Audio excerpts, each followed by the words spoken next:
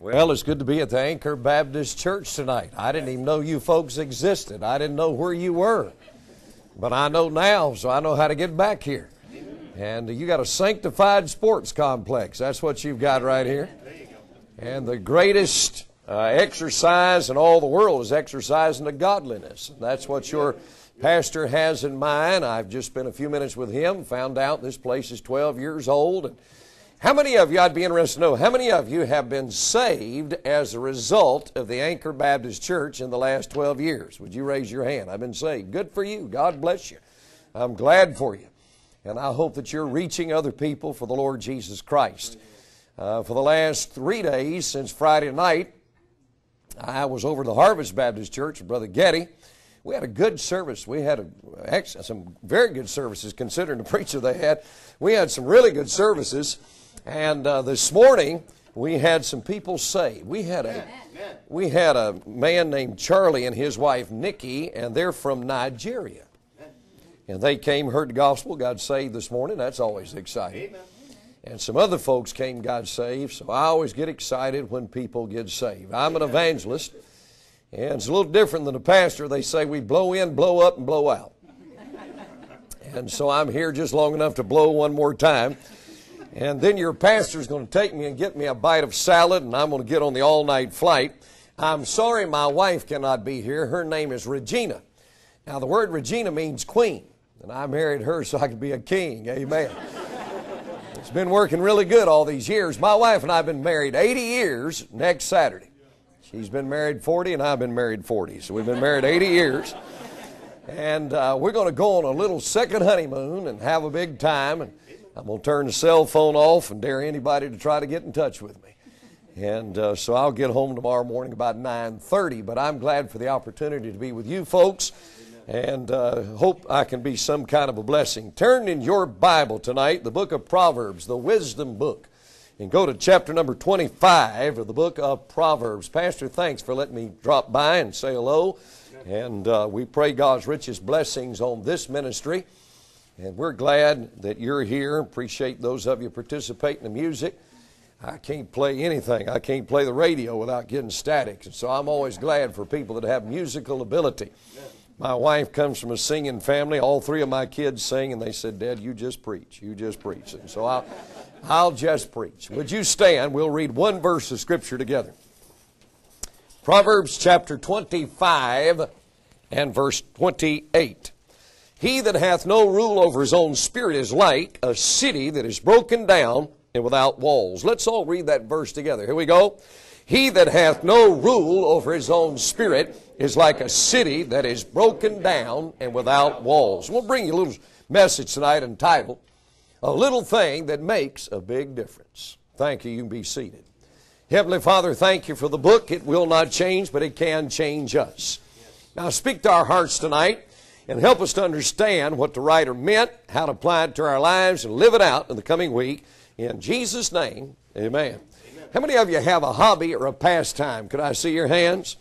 One of my hobbies, believe it or not, is reading logos and slogans. I'm an evangelist, and so I see a lot of bumper stickers and a lot of billboards. My wife and I were in a crusade some years back, and we were flying back on an airplane, and she was reading one of those exciting, illustrious airline magazines. And she said, honey, look at this. There's, there's a plaques, and they got different logos on them. You might like some of these. One of them said, attitude is contagious. Another one said, attitude is everything. The one I liked said, a little thing that makes a big difference, dash, attitude. I said, that is a great title for a message. Now, I, I, teach homiletics, and you're never supposed to get a title before the text. You always get a text, then a title. But, Pastor, I said, that's such a good title. There's got to be a text somewhere for that in the Bible. Well, one of the first things I did is I Googled the word attitude to find out what the world had to say. I found out USA Today did a study on 3,000 employers and asked this question What's the number one thing you look for when looking to hire? And it was not academics, it was attitude. Harvard University said 85% for the reason of succeeding at any area of life is attitude. In the Fortune 500 companies, the guys who make a lot of money, they ask, why are you successful? 94% said attitude. Nissan is the car with attitude. There's a lot of books out, Attitude 101. And I said, man, the world has a lot to say about attitude. I said, well, I'm leaving the world and I'm going to go study the Word. And so I looked up the word attitude, and guess what? The word attitude is never used in the English, stand, eh, eh, eh, English Standard Version. Forgive that Freudian slip. Is never used in your English Bible. You say, how are you going to preach on something that's not there? Well, the word is not there, but the synonym is, it's the word spirit. Everybody say the word together. Ready? Spirit. spirit. Say it again. Spirit. It means disposition of the mind or attitude. It's used many times in the Word of God. Numbers 5.14 talks of the spirit of jealousy. Numbers 14.24, but my servant Caleb, for he had another spirit with him and hath followed me fully. Psalm 77, 3 says, when I complained, my spirit was overwhelmed. Proverbs 20, 27 says, The spirit of a man is the candle of the Lord, searching the innermost part of the belly. My favorite is Daniel 6 and 3. Daniel's over 85 years of age. And the Bible says this Daniel was preferred above the presidents and princes because an excellent spirit was in him. Attitude is prominent in the Bible. You know, when you die, you will not be primarily remembered for your attire or accomplishments. Number one thing people are going to remember you for is your attitude. I'll get on United Airlines tonight. And believe it or not, in the cockpit, they have an attitude indicator. Now, the first time I heard that, I said, no, it's an altitude indicator, but it's not. It's an attitude indicator.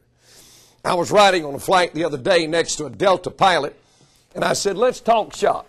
I said, I'm a witness to you, but I, I want to talk about flying. I said, is it true that y'all have an attitude indicator? He said, yeah. Are you a pilot? I said, no, I'm a preacher, but I collect illustrations. I said, is it, I said, is it true that the attitude indicator tells the position of the plane in relationship to the horizon? He said, you're on. I said, if, if you're going up, they call it nose up. If you're going down, call it nose down. He said, man, you got it. You know, your attitude does determine your altitude. And it will 24 7.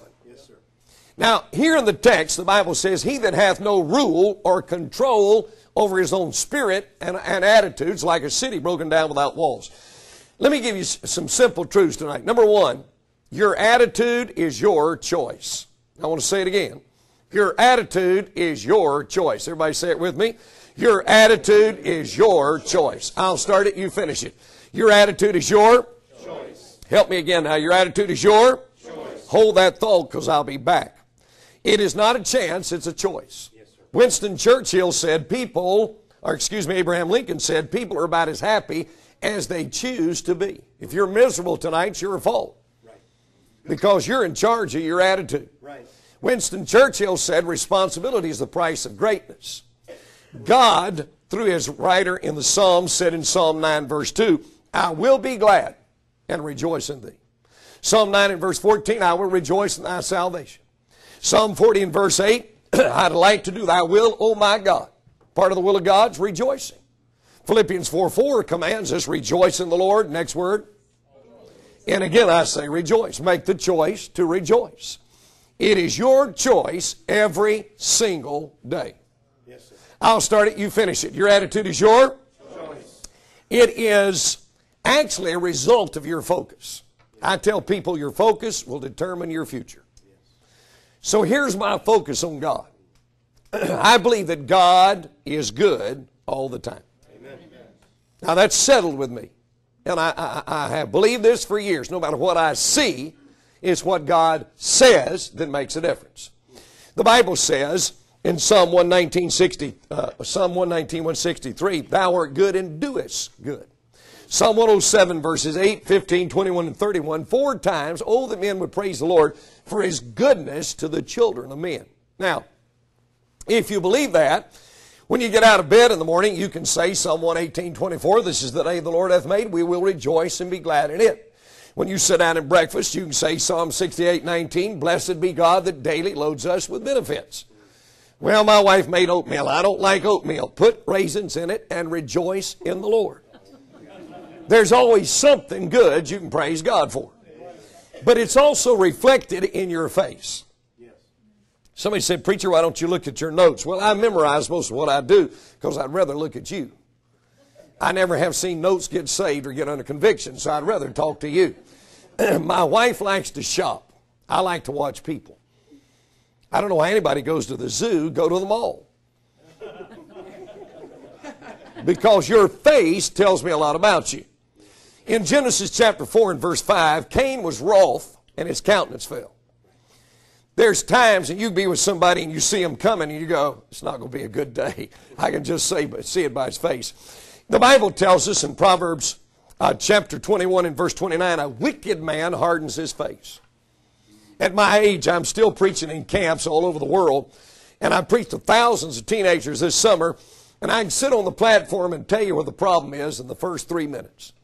You can look around in the song service and you can tell, can't you, preacher? It doesn't take long because your face tells you. The Bible says in Proverbs 15 13 that the merry heart makes a cheerful countenance or a cheerful face. You say, Well, I am happy. Tell your face, it hadn't heard yet. You see, if you're happy here, it'll explode here. You say, Preacher, you don't know my problem. Well, by the way, somebody have a bottle of water? Oh, there is. Oh, God bless you. This is one windmill that's run by water. That's great. Amen. Canadian water. All right. Bottled and shipped in from the United States. Came out of a garden hose, folks. Just enjoy it. But uh, interestingly enough, I know a fella, in fact, he's a preacher, and he was in 20 foster homes by the time he was 16. I wonder if anybody can match that. Now, he ought to be dysfunctional, disoriented, and everything else is negative. But he's one of the most exciting guys you ever met in your life. When he was two years old, his dad was arrested, put in state pen. He doesn't know if he's still in state pen or dead because he can't identify him. His mother didn't want him. She gave him to grandma. Grandma didn't want him, so she gave him to one foster parent. And by the time he's 16, 20 foster homes. But he didn't walk around and complain. If he walked through this door, you would go, What's he up to? Because he's always smiling. He walks with a spring in his step, song in his heart, because your attitude is your. Oh, my soul, people, you're slow. I'm going to take a drink of water and try that again. I said your attitude is your. All right, number one, your attitude's your choice. Number two, your attitude brings consequences. Everybody look down at the text. He that hath no ruler of his own spirit is like a city broken down and without walls. Now, what in the world does that mean? We got to turn time back and understand what walls were for. Number one, they were for defense. A city with no walls was wide open to plunder. Number two, they were for dignity. Did you know that Jericho had double thick walls? I'm not sure if you've studied about Babylon, but the walls of Babylon were 350 uh, yards high, or 300, excuse, yeah, 350 yards high, a lot larger, taller, literally, than a football field. They were so wide you could ride eight chariots side by side on those walls. And people took pride in those walls. So here's the deal. If you don't have a good attitude, you're like a city that's wide open and vulnerable and you're going to get yourself in trouble. Now, when a city had broken walls or no walls, the first response was ridicule. In Nehemiah chapter 1 and verse 3, Hananiah comes and Nehemiah asks him concerning Jerusalem. He said, The remnant that are left in the captivity are in great affliction, and the walls are broken down, and there is reproach. The word reproach means to hiss. You realize historically, that when people walked by walls that were down in a city, they called it no city at all. And, li- and many times they would, for they'd say that city doesn't even deserve to be called a city. Now you know why Nehemiah began to weep because the city of peace, Jerusalem, was a city in pieces. Do you realize that if you have a bad attitude, you're going to be ridiculed? I'm not sure if some people realize this, but some of you may be the talk of the office, but not the kind of talk you want. You may be the talk of the church, but not the kind of talk you want. You may be the talk of the school, but not the kind of talk you want. Let me illustrate. How many of you have ever been to a restaurant and got a bad waiter or a bad waitress? Would you raise your hand? There's nothing like paying to be abused, is there?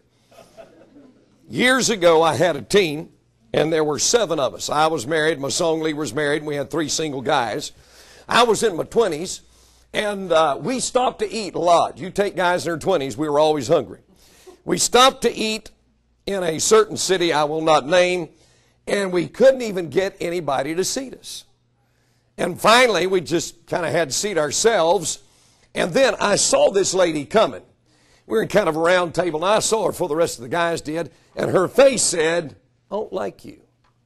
And you're in trouble. And I'm thinking, wow, this lady was big, kind of like a brontosaurus. and she had a bad attitude. And she's coming, and I'm thinking, we are in big trouble.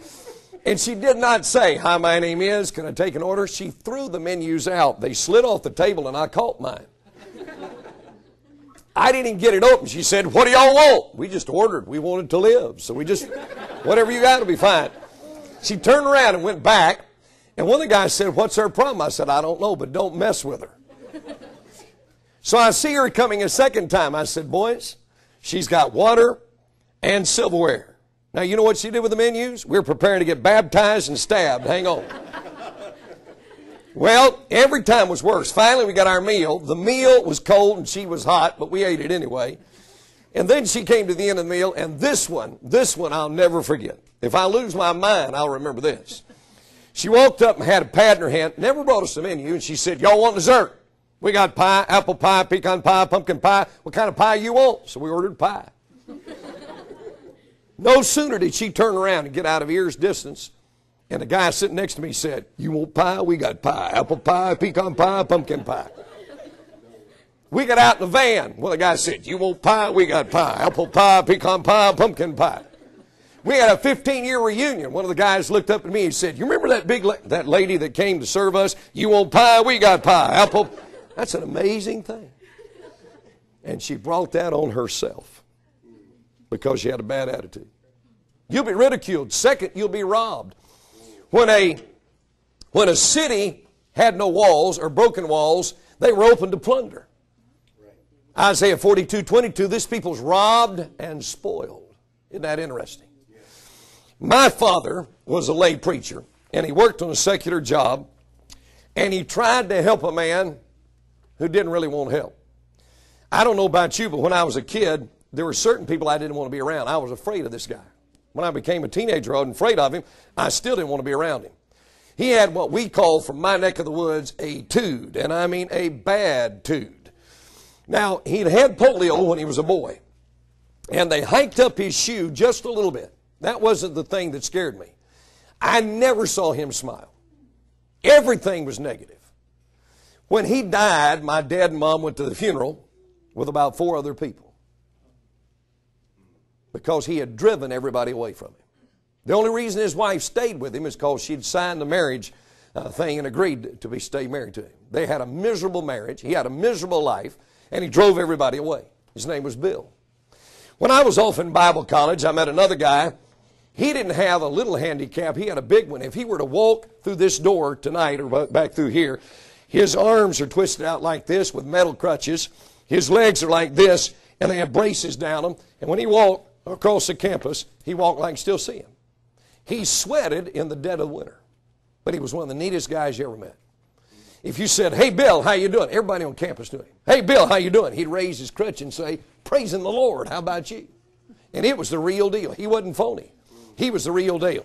Well, he, I had 75 guys on my hall. He lived catty cornered. Everybody liked him. Everybody wanted to do something for him. At night, if they were going to snack shop, they'd come by and say, "Hey Bill, Going to get something to eat. You want something? You want a candy bar? You want a Coke? You want a Cadillac? What do you want, man? We'll get anything you want. Everybody loved Bill.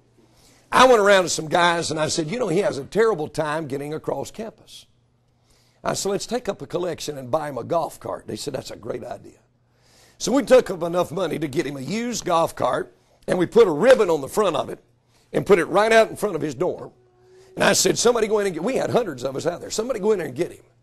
And he came out walking, and we started applauding. Man, he lit up like two Christmas trees. Now, Bill was smart. He did not drive. No, no, no. He got in the front seat and rode shotgun and let a friend of mine drive.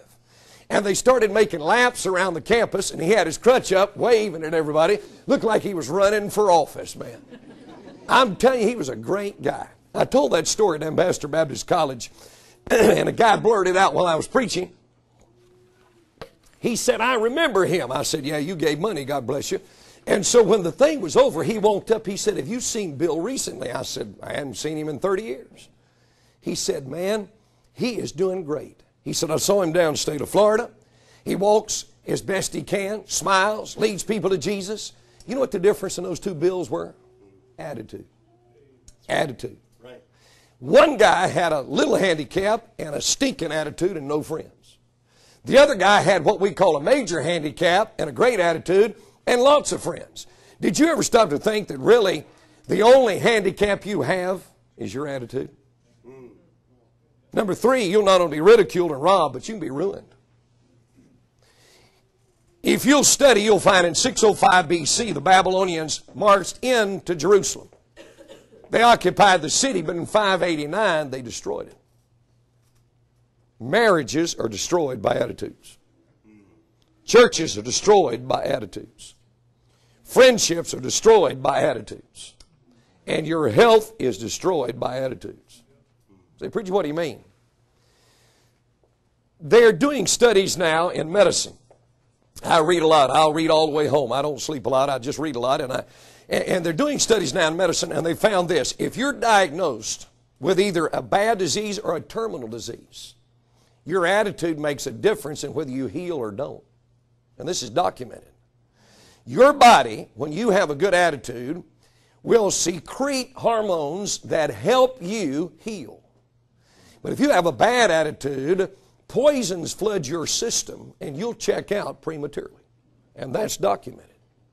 Somebody said, Aren't scientists brilliant? Scientists have always been behind God. Proverbs 17 22, let's see if you know this verse. A merry heart doeth good like a medicine. You see, you have a choice every day. Some of you could heal your marriage if you'll change your attitude. Some of you could heal your heart if you'll change your attitude. Some of you could heal a relationship if you'll have a good attitude. Your attitude is your, help me folks. Thank you. And finally, your attitude can be conquered. Notice it says, He that hath no rule. That means if you don't control your attitude, it's your fault.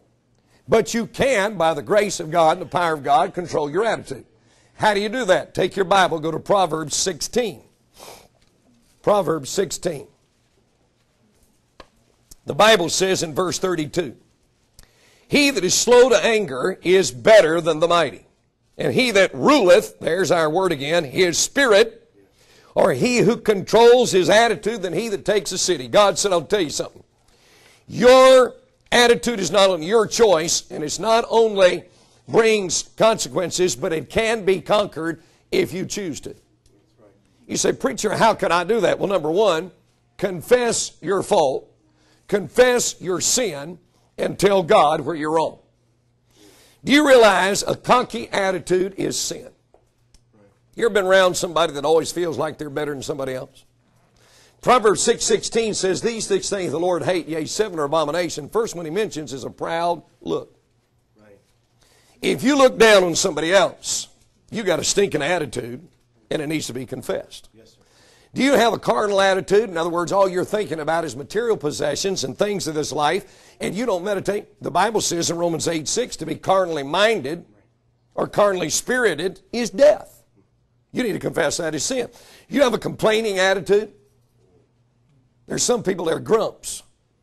That's all they do, complain, complain. Numbers 11, 1 said, when the people complain to displease the Lord.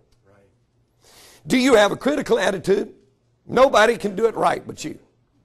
Everybody always does it wrong. Ephesians 4.29 says, Let no corrupt communication proceed out of your mouth, but that which is good for the use of edifying. Proverbs 28.13 says, He that covereth his sin. You better get this. Not his oops, but his sin shall not prosper. Now, you can say tonight, preacher, you don't understand my family. You don't understand how I was preach, uh, treated. You don't understand my neighborhood. Nobody understand the Bible. And the Bible says if you don't control your spirit, you are ruining your life. Now, psychiatrists won't tell you this, and psychologists won't tell you that. They will say you're dysfunctional, you have a syndrome, and you can't help it. God said, You don't have a syndrome, you have a sin. Stop saying you're dysfunctional and admit you're disobedient and obey the Bible, and God will change your life. Amen. Say, I don't like that. Neither does the devil. But you need to learn that if God's going to do anything for your life. Go ahead and make your excuses. Let me ask you a question. How good have you been doing? Have your excuses made you healthier, happier, and holier? And the answer is absolutely not. Stop making excuses. The word confess means agree with God. God, I agree with you. I got a bad attitude. God said, great. I'm faithful and just to forgive you and cleanse you. So that's step one. You say, I'm not going to do that. Well, you can take a nap for the rest of it. I'm almost done. But if you won't confess your sin, you are not going to get well. Number two, not only confess your failure, but number two, change your focus. Proverbs 23 7 says, For as he thinks in his heart, so is he. The old boys where I used to grow up said, You ain't what you think you are, but you are what you think. I, I go around the country, I tell people, when it comes to your attitude, pull weeds and plant seeds. Would you say that with me? Pull weeds and plant seeds. Why don't you jerk up complaining and start praising? Amen. What will I praise God for? Well, if you're saved, you're not going to hell. That's a good place to start. You're regenerated, redeemed, reconciled, presently seated with God in heavenly places, and you're going to live with Him forever. Somebody ought to smile tonight and say amen. So start by pulling the weed of complaining and put in the seed of joy. Stop criticizing your wife. You really think she loves you because you put her down? Man, where in the world did you come from? If you started praising her, it might get a little sweeter at the house. Amen. Pull weeds and plant seeds. Does anybody in this room like football? Could I see your hands? I got some fans out there. Foot, I think football's the reason God made TV. I like to watch football. For many years, my wife and I lived in Kansas City, Missouri, and we were Chiefs fans. If you lived in Kansas City, I'll confess my sin on my own, thank you. if you were in Kansas City, you were Chiefs fan.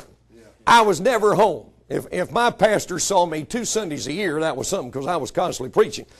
But I was home from time to time, and my neighbor sold Logo 7 Chiefs jerseys and paraphernalia. He'd get on the phone, he'd say, Hey, would you and your son, my son's 33, he's a preacher, say, Would you and your son like to go see a Chiefs game? I said, Let me pray. Amen. See out the car. And so we go. now, we had a quarterback for a few years, traded us from the San Francisco 49ers, named Joe Montana. Has anybody ever heard of Joe Montana?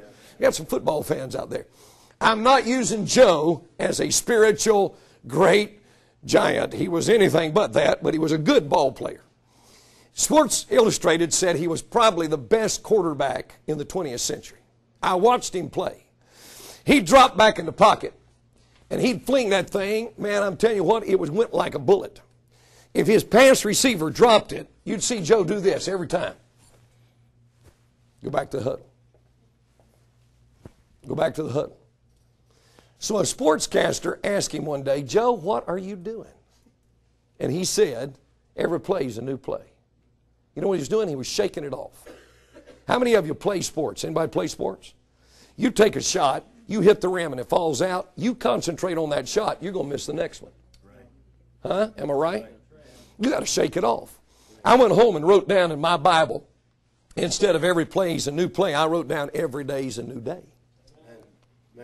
I heard about a guy that was on an elevator, and he was having a great day and singing and having the time of his life. And he got on the first floor, and another fellow got on the fourth floor, and he was having a blue Monday.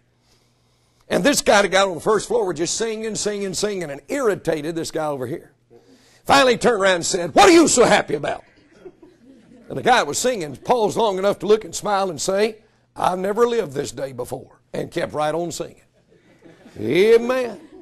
Amen. You do not have to be miserable. That's right. You do not, as a Baptist, have looked like a, an advertisement for a gallbladder attack. Well, come on now. You can have the joy of the Lord as your strength. So, number one, confess your failure. Number two, change your focus. Number three, communicate your faith.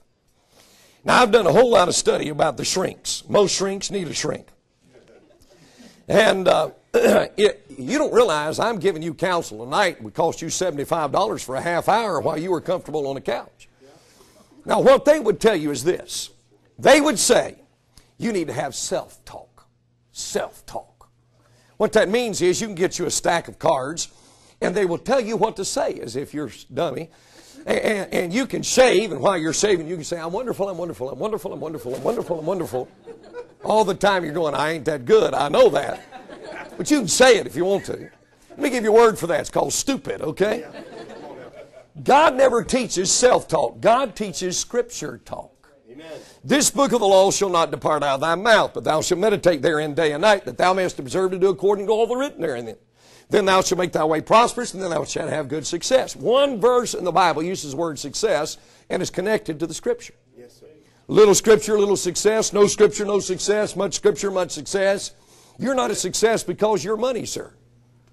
Your money won't do you one hill of beans at the judgment seat of Christ. But your attitude will come across and be judged, so you're going to have to decide what you're going to do. Now, how do you communicate Scripture? Well, you say, Preacher, tomorrow morning I got to get up and get out in all this traffic. Well, you have a bad attitude about traffic. I've got a question. Have you ever moved traffic faster hollering at everybody? Get off road! Where'd you get your license? You ever notice traffic doesn't move any faster? Here's my favorite. A guy has a flat tire, and he gets out, kicks it, and cusses. That's brilliant, isn't it? I've never seen a tire reinflate while he's cussing. So now he's not only got a flat tire, he's got a busted foot and a headache all at the same time. I mean, there's some things that are just downright dumb. I heard about a young, a little boy who always rode with his daddy to school. His daddy always hollered at everybody. Well, his mother took him one day, and when he got to school and got out, he looked back at his mother and said, Mama, where are all those idiots daddy sees on the road every day? Better help me tonight. Your attitude is your. You're a little slow, but you're getting there. John 16, 33, in the world you shall have tribulation, or traffic, or your boss. In the world you shall have tribulation, but be of good cheer. I've overcome the world. That's what it says. Romans 8, 37, nay, in all these things we're more than conquerors through him that loved us. Amen.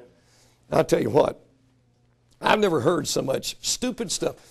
PhD, Pastor, in some circles must stand for post hole dicker. That's the only thing I can figure. I've never met so many people go to school so long and come out so dumb in my life.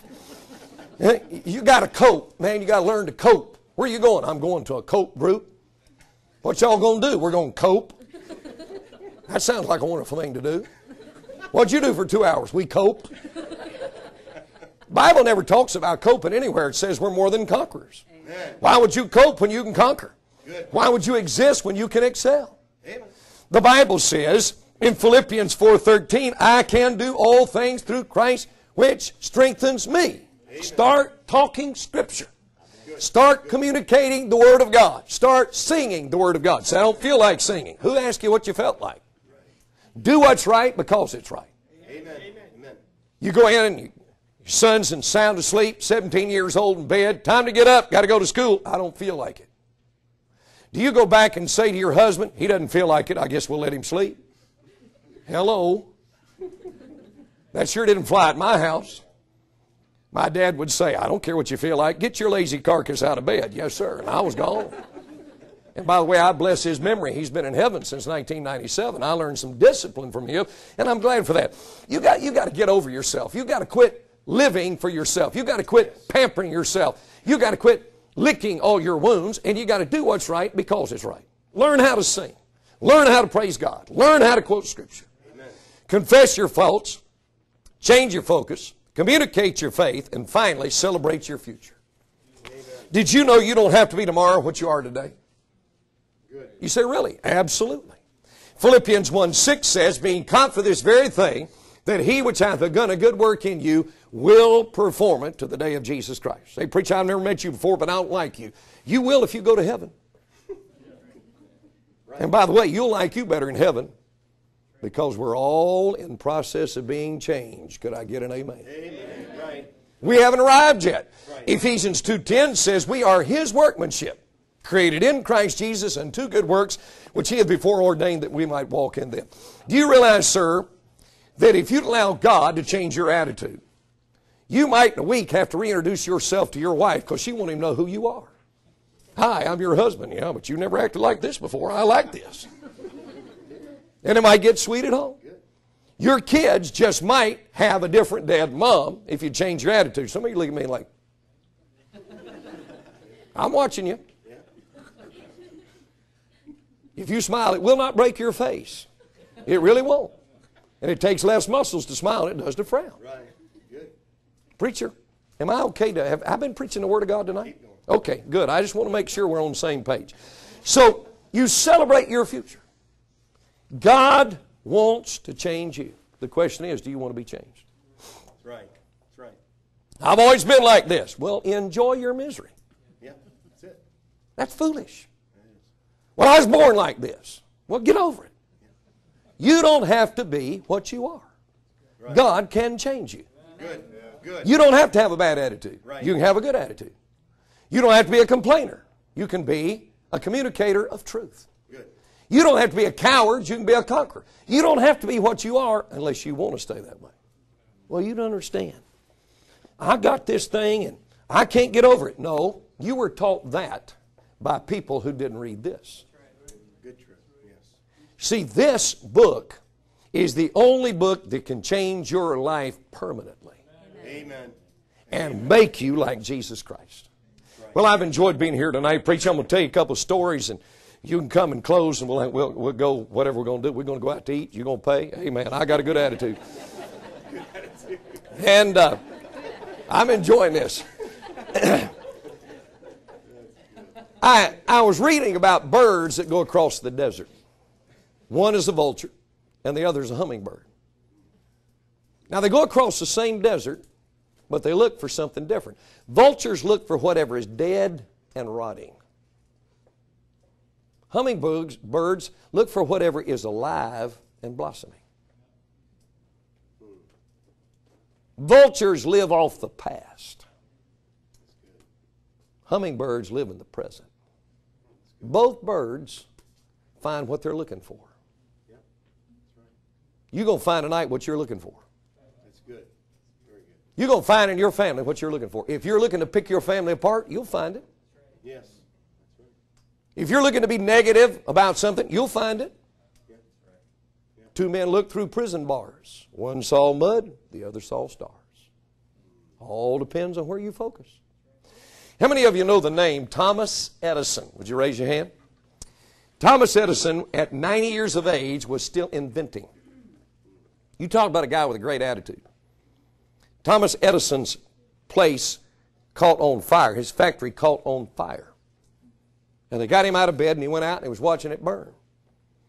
And while it was burning, he said to one of his sons, Go get your mother. She's never seen a fire like this before. they said, What are you going to do? He said, Rebuild. And he did. You've heard of Thomas Edison. He was working on the incandescent light bulb, and it took time and time and time again. If you read history, you'll find it was a smart aleck newspaper writer that came to see him one day and said, Mr. Edison, I understand you've experimented with this 10,000 times. He said, That's right. He said, How does it feel to have failed 10,000 times? Edison said, Have a seat, son. To change your life. He said, I didn't fail 10,000 times. I now know 10,000 things that don't work. And he said, When I figure out what does work, we'll have the incandescent light bulb. 4,000 experiments later, voila, we sit in light. Now, everybody in the room's heard of Thomas Edison. Does anybody like to stand tonight and tell me the Smart Aleck newspaper writer's name? You don't know and you don't care. And the difference is attitude. Because your attitude is your choice. Let's stand. We'll have prayer together. Dear Lord, it's been good to be at the Anchor Baptist Church. Thank you for calling this fine pastor here. Thank you for the folks that have joined us tonight. We can't argue with the Bible. At least we can't win arguing. We can't change the book, but the book can change us. And so would you help us tonight to be honest about where we stand before you? We're bowed before the Lord. I wonder how many of you'd have to say tonight, you know what, preacher? God spoke to me about an attitude or an attitudes or attitudes that are not right in my life. I'm not going to argue about it. I'm not going to get mad about it. I'm not going to blame somebody about it. I realize tonight my attitude's my choice, and I need to confess that and let God cleanse me. Now, if you're a real honest person, and God spoke to you tonight about an attitude or attitudes in your life that you are no, know are not right, and you want to get right, and you want God to change your attitude, and you'd say, Preacher, before you go to the airport, pray for me.